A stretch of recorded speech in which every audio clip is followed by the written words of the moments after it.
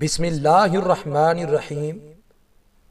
رسول اللہ صلی اللہ علیہ وآلہ وسلم نے ارشاد فرمایا، مجھے قطن یہ بات پسند نہیں کہ میں کسی کے لہجے میں نقل اتاروں، اگرچہ اس کے بدلے مجھے کتنا ہی مال و دولت حاصل ہو۔